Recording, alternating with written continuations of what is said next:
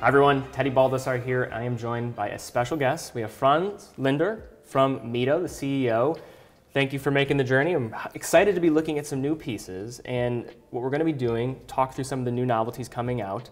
But to begin, I know there's people all over the map in terms of what their familiarity is with Mido. You've been CEO for some time. Say somebody has perhaps not looked at the brand or inspected it to a very fine degree. What would you say to encourage them to maybe take a closer look as we start to get a little bit further into the pieces here? Because I think they'll sell themselves and you know, say why they're great, but love to hear your perspective. You see, Mido is a traditional watch brand founded in 1918. And I think when you buy a Mido, first of all, you have a legacy of collections existing for decades, each one with its own DNA. If you take Multifort, since 1934 we have this collection, very masculine, robust and uh, solid. Mm-hmm. And this is still the DNA of the collection today. 1944 Ocean Star, then Commander, an icon. So we have our four core collections have a very strong identity.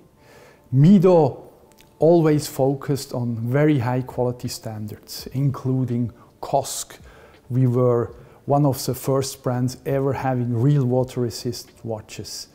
So we have a high request to quality, and at the end we offer, I think, a, in my opinion, a cool looking watch at a very affordable price. Very good value for money products. I agree. And when you handle a Mido, and I do think once, there's probably a lot of people that have never handled one, but when you handle one, you're, you feel that there's no corners cut. And you're talking about this $800 to maybe, or $800 to say $2,500, yeah. among the best in that price range. I will stand by that. One of the cornerstones for this year for releases, now we'll look at the Ocean Star collection. We have a few different models here. But this was one that caught on, but also I think it positioned itself so well within just the broader market of watches. A GMT with a true GMT movement for a watch that's under $1,500, I mean, that is incredible value. And for a true GMT, for those not familiar, so you have isolated function of this local hour hand. This is incredible to have that in this price bracket. But can you talk about this watch a little bit more and the, the whole process behind the GMT when you released it? Yeah, you know, as I just said before, the so Ocean Star family we have since 1944. And in the Ocean Star line, we have subfamilies. So we have the Ocean Star 200C, mm -hmm. which is a 200 meter water resistant piece with a ceramic bezel, very good, a very good deal. And as a, a, a complementary, we call it in our uh, small complication category, we added a GMT model. And for this we used our uh, caliber 80, means a mechanical automatic movement with a power reserve for up to 80 hours. Mm -hmm. And we added the GMT module. And we got uh, a really, as you just mentioned, outstanding value for money product sapphire, both side anti-reflecting, mm -hmm. ceramic bezel, and on top of this GMT function. And it comes on top actually with a nice NATO strap, strap yes. which makes it even more eye-catching. Mm -hmm. So this was originally unveiled with, we had a few different dial colors. This is the new release with the blue and red configuration. I think it looks great. Thank you. Fantastic. Shifting over to, you talk about this heritage. We could talk about the tribute now. Now, we saw previously there was another iteration. I believe I was at the unveiling of that whole release. It was a few years ago. But this now is the new creation from the Tribute line with this light blue dial, now just with a date as well. Can you talk a little bit more about this? Yes, uh, Ocean Star Tribute is, as uh, name says, a tribute to the old Ocean Star models from the 1960s with a doomed sapphire yes. today so with this vintage look, and here we had different models, and we said now we would like to add a new color style with this uh, gradient blue color, this mesh band. Okay. So as I said, within the Ocean Star family, we have basically the contemporary designs, and here we have the vintage line of our Ocean Star. So aluminum insert, you're also dealing with a case that is much smaller. So we had 44 millimeters. That's this is 40 and a half. 40 and a half, exactly. So, and I would say it wears smaller than that on the wrist. I would say it wears closer to like a true 40, if not a 39. So you're really getting that vintage wearing dimension. Yeah. So if that's something you're going for, want something for a smaller wrist, I would go with this from the Ocean Star collection. Now, I would say something that you mentioned as the other pillar is the 200C. Yep. This is a basic Ocean Star collection of Mido, as I said, as a, with a, temp, a contemporary design, but all you need in a good diver watch, ceramic bezel, anti-reflecting glass, a, way, a nice wave pattern on mm-hmm. the dial, strong superluminova, and here now we have different models, and what I personally really like a lot is uh, easy to adjust diver yes. extension. And typically when you see that on the fly adjustment, it's either, okay, you have, you know, most brands are going to just go for the traditional, you know, holes in, in the adjustment, but this is on the fly, no tools needed, and it's, it's great. In this price range too, you're talking about, you know, $1,000 here, so I mean, yep. it's, it's fantastic. The other pillar you mentioned was looking at the Multifort. Now there's a ton of history here. We have a couple different models. One just traditional three hand, one's also coming with a chronometer. But you mentioned as this is such a crucial parts to Mido's history. Could you tell us a little bit more about that, you know, that design and why the Multifort is important for the brand and showcase some of these new pieces? The Multifort collection is uh, oldest name we are still using. Actually, all our names are registered names. That's why you also find them on the dial. It's mm-hmm. not just a marketing name. It's really a dedicated name for decades. So in 1934, when Multifort was launched, it was the first watch combining four elements. Automatic, means self-winding. Mm-hmm. It was shock resistant, anti-magnetic, and I think the most important factor, absolutely water resistant. Why? In 1934, Mido invented and patented a system called Aquadura cork sealing system. Hmm. And it's as simple, as genius as a system can be. So what they did is the crown opening where the pin goes to the movement mm-hmm. is a mm-hmm. very delicate part for water leaking. So they have inserted a piece of uh, natural cork treated in a secret way to keep it moist because hmm. only when it's moist it protects. They pull in the crown and it's absolutely water resistant. And you can, can imagine this like a bottle of wine. Mm-hmm. If you pull out the cork half, what happens? It's still tight. So sometimes people forget to push back. It wasn't screwed, so very simple but very efficient. And obviously, in those days, water resistance was a major issue, and Mido was really one of the first brands offering this.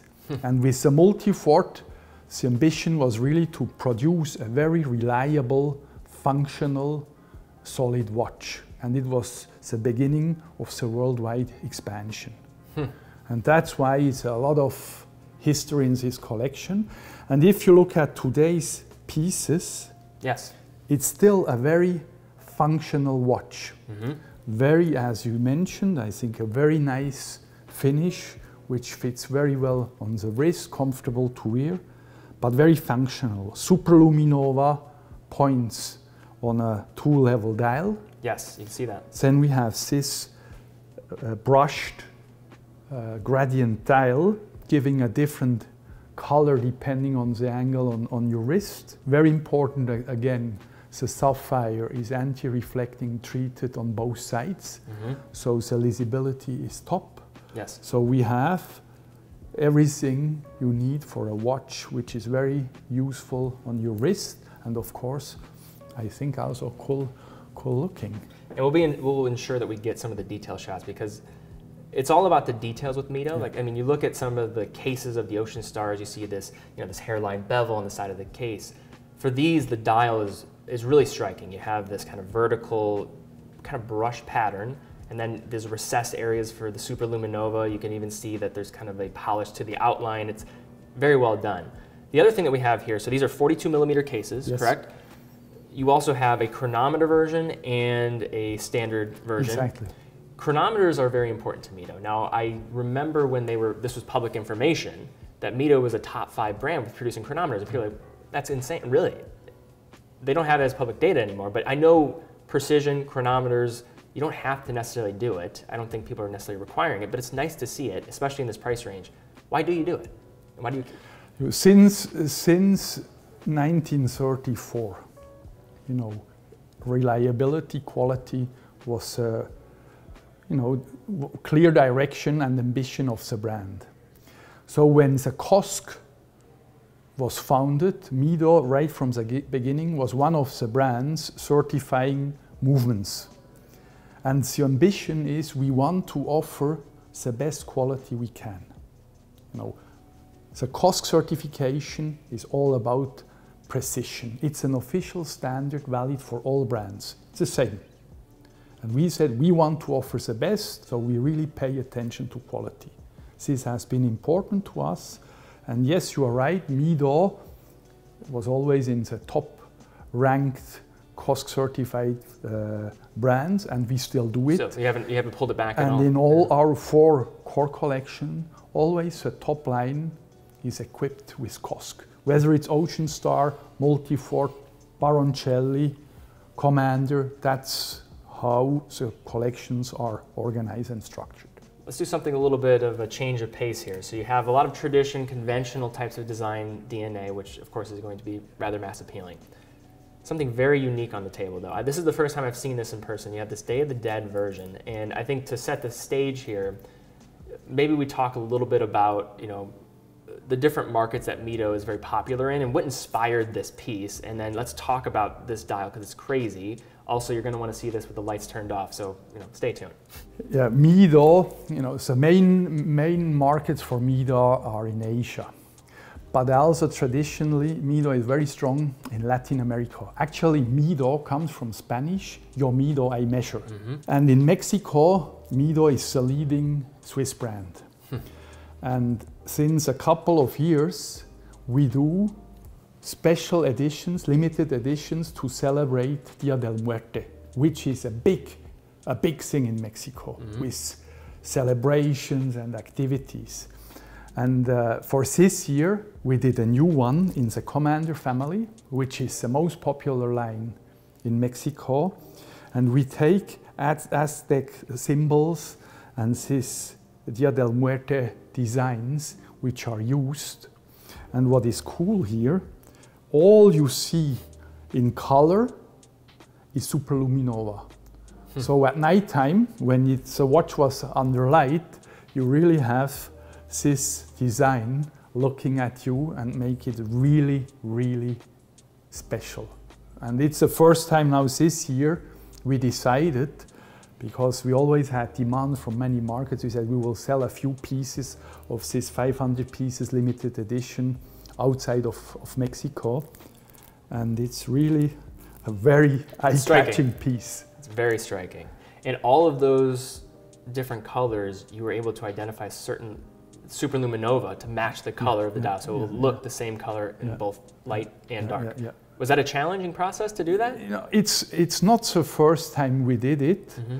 but it's the first time we did it with so many colors. I mean, you have to see it to understand, and a cool detail. Mm-hmm. So the dead head yes. you see here, the teeth is the it's big placement. So it's, it's really is a, uh, the layout is very very unique. So it's a real special piece you can see here. And the finishing is great too. Even on the sapphire, you can kind of see that you know, edge of the sapphire, you know, yep. which is finely cut. I was surprised how much more I like this in person than I did when I first saw it. So, all right. I don't know if I could personally wear it because I'm a little bit kind of boring, but that's a pretty cool watch, no doubt. You can you can wear every everything. that's your privilege, no? That's true. I'm very spoiled with this job. Lastly, let's look at the Commander. So this is a newer creation from the Commander line, but also an important pillar for the brand. Yeah, Commander is, is the most iconic line. It's a classic, so the vintage model of the Commander. We produce it since 1959 non-stop, so Commander original. And here we have the more contemporary execution. So it's the same system as we have in Ocean Star with contemporary mm-hmm. and vintage. And what is special here, it is a big date indication. Mm-hmm. So here we are also using the 80 hour power reserve movement, our calibre 80, and we added a big date And that's basically really something very special in our price range. And you can see it's a very pure design. So Commander is large opening, very functional. And now we are adding this green dial model to our Commander Big Date line. And when you look at the watch, you basically only see the dial. So very large opening, very functional watch, mm-hmm. but still a very nice uh, finish and very nice timeless piece. So this, if you look at the vintage Commander, it has that classic silhouette without you know the lugs, the tr- traditional lugs. It really is just that circular case. What you're doing here is have similar to that. You have these lugs that really shoot straight down. So it creates that, but also more of a modern architecture, as you mentioned. And the bracelet is very well done. You have these nice polished you know, center links that are in here. Uh, so attention to detail is absolutely there. This is a 42 millimeter case. Yep. 42 millimeter case. And you talk about all these different markets. I mean, in terms of sizing, um, like how do you look at that? I mean, do you, like what I've seen a lot of with um, just people that are looking at the brand is there's a lot of desire for smaller cases. Uh, you know, what makes you decide on a certain case as you're thinking about sizing? Mido never went extreme. You know, we didn't follow these trends where watches couldn't be big enough. Yes. Uh, we are not running down to 36 millimeter cases for men's now. So our products for, for, for men are normally between 38 up to 44. Mm-hmm. And in different collections, normally we have two sizes, not necessarily the same design. So if we take the Commander or, or Original, we are at 37, but that's because it's it has always been 37. Mm-hmm. But then for our classic pieces, we start at 38. For sporty pieces, we start at 40.